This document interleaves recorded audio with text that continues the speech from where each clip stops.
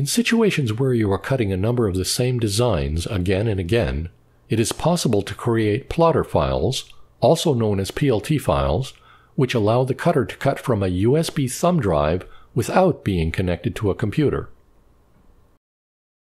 The procedure for creating designs or importing design files is exactly the same as when cutting from the PC. The only difference will be in saving the file as a PLT file instead of sending it directly to the cutter. For this example, we will open a PDF vector file of a bird and place it in the design area. Clicking on the small icon in the lower right to show color wireframe shows us the cut lines that will be saved in the PLT file. To create the PLT file, we click on the cutter blade icon and the send to cutter options as we would during a typical cut and we also click on the Cut Now option,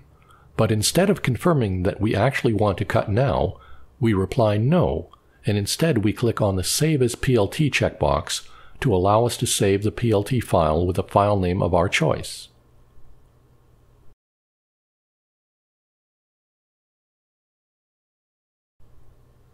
Once the PLT file is saved to a USB thumb drive, the thumb drive can be placed in the UDisk slot on the side of the cutter, and the file can be cut by selecting the UDisk option on the cutter.